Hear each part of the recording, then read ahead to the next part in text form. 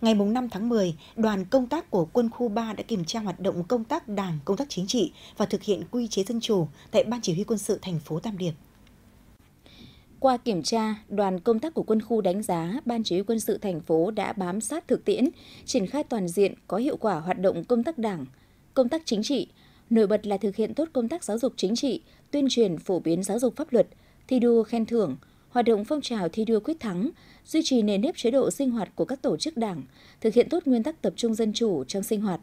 Công tác tổ chức cán bộ, chính sách, bảo vệ chính trị nội bộ, dân vận được thực hiện hiệu quả, sát với yêu cầu, nhiệm vụ và thực tiễn.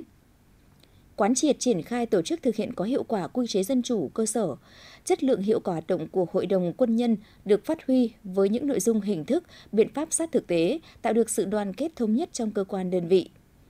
Đoàn yêu cầu đơn vị tiếp tục quán triệt giáo dục, nâng cao nhận thức trách nhiệm cho cán bộ quân nhân chuyên nghiệp trong thực hiện nhiệm vụ, tăng cường công tác kiểm tra giáo dục, quản lý tư tưởng, nắm tình hình chính trị nội bộ, tiếp tục quán triệt và triển khai thực hiện nghiêm túc các nghị quyết, chỉ thị, kết luận, quy chế, quy định, hướng dẫn của cấp trên về xây dựng và thực hiện quy chế dân chủ cơ sở, đồng thời nâng cao nhận thức, trách nhiệm cho mọi cán bộ chiến sĩ, khắc phục triệt để những hạn chế, tiếp tục duy trì có nề nếp hoạt động công tác đảng, công tác chính trị, thực hiện quy chế dân chủ, góp phần xây dựng đơn vị vững mạnh toàn diện, hoàn thành xuất sắc mọi nhiệm vụ được giao.